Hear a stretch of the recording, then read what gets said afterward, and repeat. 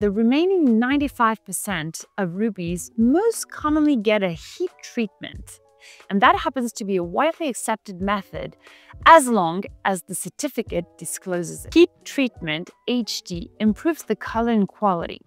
Most of the time, the rubies are being heated at super high temperature, all the way from 700 to 1900 degrees Celsius, in order to remove inclusions and also to enhance the color. As a matter of fact, a heat treatment can turn a dull brownish ruby into super vibrant and clear redstone. So that's when it comes to enhancing the color, but some rubies may also be fracture filled in order to improve their appearance.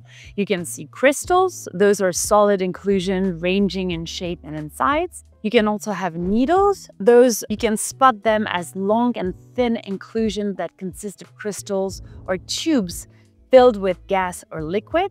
The silk, a very famous term when you speak about rubies, are those fine fibers of rutile or other minerals that resemble a silk feather.